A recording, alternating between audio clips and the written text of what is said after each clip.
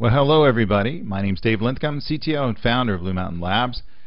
And welcome to another video. This time we're going to talk about the use of Platform as a Service clouds in the real world and how that's applicable to you in the enterprise who's trying to build and deploy applications.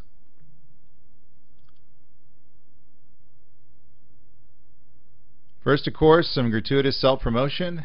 Uh, Blue Mountain Labs is leading the conversation uh, with thought leadership and cutting-edge services around the emerging world of cloud computing, how to transform your enterprise to the cloud, a step-by-step way.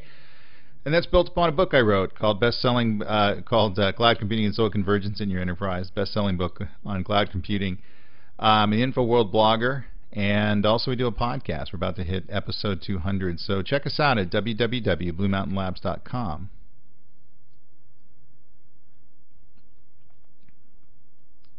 First, let's return to the NIST definition of cloud computing. Ultimately, as a set of characteristics, delivery models, and deployment models. Characteristics would be on-demand self-service, ubiquitous network access, provide resource pooling, provide rapid elasticity, and also provide a pay-per-use model. The delivery models are software as a service, platform as a service. We're talking about that during this presentation. Infrastructure as a service, infrastructure being things like storage and compute services, things you typically find in a data center you can uh, access on demand, public cloud providers such as Amazon and Rackspace, software as a service, guys like Salesforce, you know, some of the Google apps, and then platform as a service, which is really app dev test. And the deployment models, of course, are private. In other words, we own it. It's in our data center. No one else can touch it. Community, we're sharing it with a bunch of known users. Public, we're sharing it with a bunch of unknown users. And then hybrid cloud, meaning we're mixing and matching any of the above three.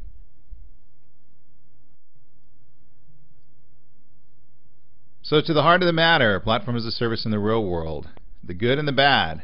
Good, budget, it's cheap. You can get an app test environment up a very short period of time, sometimes for free, or access to programming languages and databases and the ability to deploy in a staging area and the ability to leverage application development features that are very costly to set up within your own world power, it scales. Since it is cloud computing, they have access to you know thousands, perhaps hundreds of thousands backend and it's virtual unlimited scalability as far as you're concerned.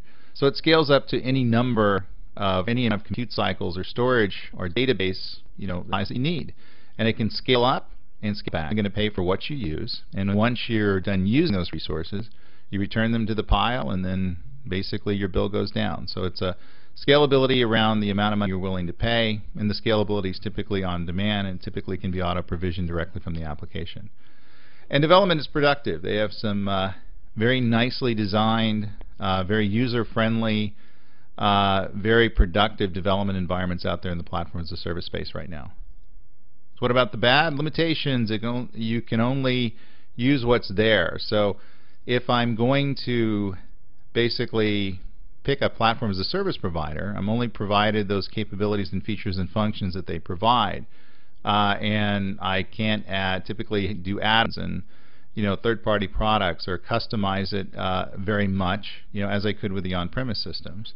And standards few exist. Every platform as a service player out there takes their own proprietary way in how you should be building and deploying applications. So you're in essence going to walk down the aisle with that platform, platform as a service player.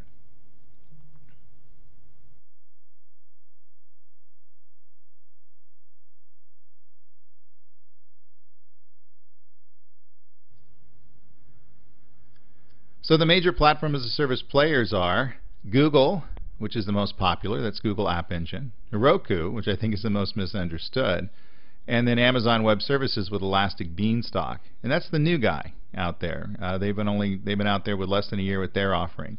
Now this isn't everybody. Salesforce has Force.com.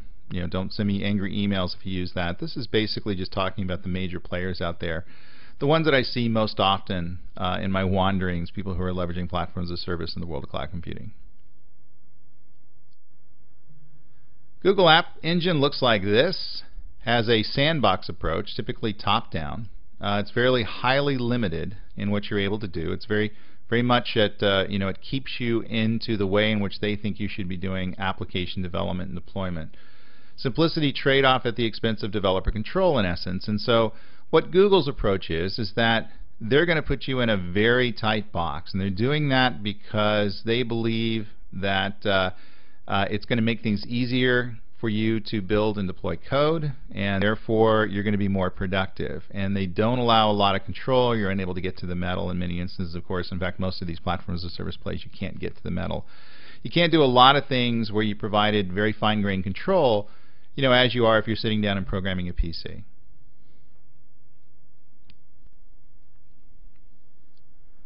Heroku also uses a sandbox approach. It's also highly limited. And also the uh, simplicity trade-off at expense of developer control, so very much like Google. And so what Heroku, Heroku, Heroku excuse me, keeps you into a uh, into a, a, boundary, so to speak, and you're able to leverage the uh, the core capabilities of the platform as a service uh, system, and you can't go out of that very easily. And again, it's simplicity trade-off at the expense of developer control. Uh, whether you go with Heroku or Google App Engine really kind of depends on the requirements of your application. You can do a feature function trade-off with each of the systems to figure out which ones are going to be right for you.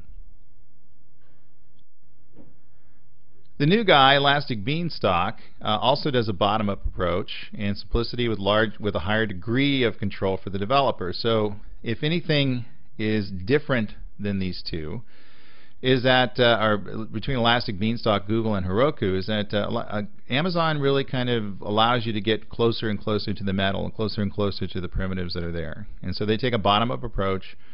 They try to make the environment simple as they can, but they have a higher degree of control ultimately for the developer. So if you're used to having a high degree of fine-grained control, uh, within while you're building your applications. Elastic Beanstalk may be the one you want to look at. If you look, if you want to be kept in a sandbox, so to speak, or in with boundaries, so to speak, to make things easier and simpler, so you don't make mistakes, then obviously Heroku and uh, Google App Engine are going to be more appealing to you.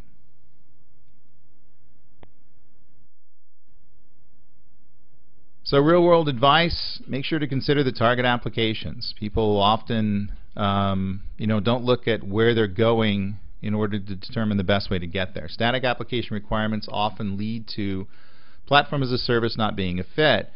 So if you understand the capabilities of your platform as a service player that you're looking at or players that you're looking at, make sure it's going to fulfill the needs of the application. In many instances, people try to force fit it because you know platform as a service is cool right now. They want to leverage that technology and no matter what the requirements are, they end up with Google App Engine or you know whatever. And if you do that, you're going to end up in trouble because your app dev test development environment, your development environment is not going to be able to match up to your application requirements. Make sure to consider resources required.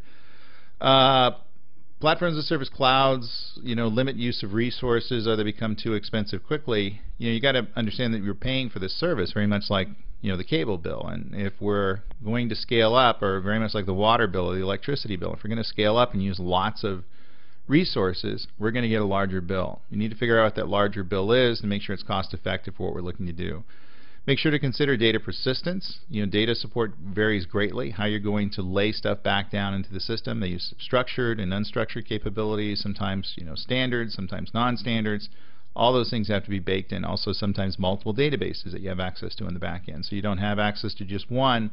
Any number of ways you can store you you can uh, store data, store information in those apps and those platforms as service players.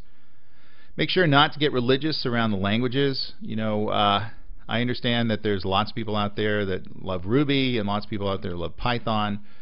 Um, however, I would really look to the features and functions of the tool first and then the language that they support second. Make sure to consider leveraging the outside world. You need to interact with other clouds and other on-premise systems. Make sure to understand how the integration occurs between your core systems and the platform as a service application instance you're looking to create so you can actually move information in between these systems. Some of them support um, very fine-grained, very uh, rudimentary integration services. Some of them are, it's kind of an afterthought clearly. And you need to figure out, number one, what features and functions they provide and how you're going to be able to leverage those features and functions to make sure information is, is pushed out of the system and brought into the system. And make sure to consider staging and testing.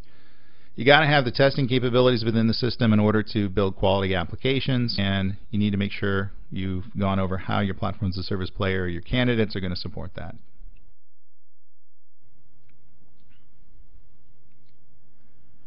So what are the best practices?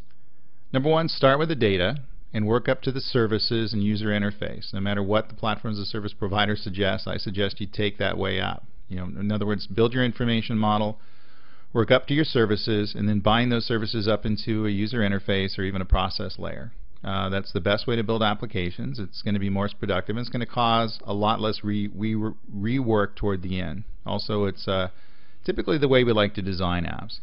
Create an initial uh, proof of concept to make sure to validate the complete stack. In other words, test it, make sure it works. And they typically allow you to do that for free or greatly reduced costs. So, you know, run some benchmarks against it. Make sure it's providing the performance. Make sure you're able to allocate the resources. Make sure the language bindings are working correctly. Make sure the data uh, persistence is working correctly. Define a staging and testing strategy before you begin development. Can't stress that enough. You have to be able to test this thing. has to be able to go out into a staging environment and needs to be promoted into production. You have to kind of set that up because the life cycle of the application, that's how you're going to live. You're going to put a lot of the bug fixes and a lot of the features and function changes into a staging environment, promote it into a production environment. You need to make sure you're tracking code, you're tracking versions, you know, release management, all those sorts of things are going to be built in your system. Consider SOA approaches in design and development of the platforms of service-based applications kind of out of the scope of this presentation, but you know, take a you know, read my book, read other books on service-oriented architecture.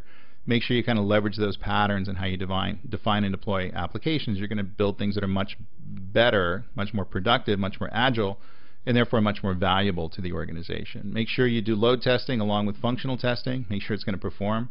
Make sure to model performance. In other words, where you're going to go and how you're going to get there. And you have 10,000 users versus 1,000 right now in two years, this is where you're looking to go. Is it going to be able to you know, to manage performance? Is it going to be too cost? Is it going to be too costly? Is the thing going to fall over? Uh, you need to make sure to test that. And don't fall in love with the SaaS uh, platform as a service player. You may need to use several. You know, so I hear people we're standardizing on Google App Engine. Well, that's probably a dangerous precedence because it's okay to leverage kind of a key platform as a service player, but ultimately, just like other development tools, we need to mix and match them uh, for the right applications and the right requirements and all the things we have to do. If we kind of force fit what we think is going to be a standard with each and every problem domain we're going to find that we're missing the boat in many instances. So find the most productive and the most uh, feature aligned um, platform as a service players that are you know going to be aligned to the requirements you're looking to make up uh, looking to uh, to adhere to the business uh, the business issues. And if you fall in love with one uh, you're going to find your heart gets broken a little bit down the line So again, Blue Mountain Labs, uh, we're here to help you move into cloud computing, provide advisory, development. Uh, we're thought leaders in the cloud computing space. We provide cutting-edge services. If you're looking for a vendor agnostic, a, a service, uh, ser uh, cloud service agnostic uh, consultant to advise you and move you in the right direction, uh, provide you with those capabilities, whether you're moving to public, private, hybrid cloud computing, or just changing your enterprise toward cloud computing give us a call. Again, you can find us at www.bluemountainlabs.com. Well, I want to thank you very much for uh, listening to yet another video. Uh, please let us know what you think. You can reach me at david at bluemountainlabs.com and uh, let me know if you want us to continue to do this. Thank you very much. Oh yeah, don't forget to uh, give us the big thumbs up here on YouTube.